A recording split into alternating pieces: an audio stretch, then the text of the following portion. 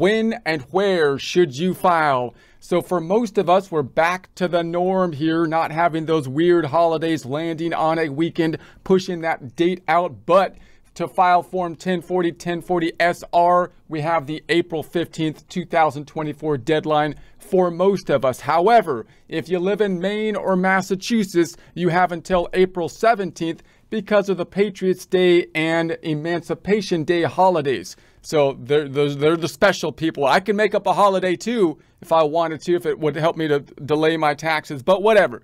For most of us, we're back to that April 15th, uh, 2024.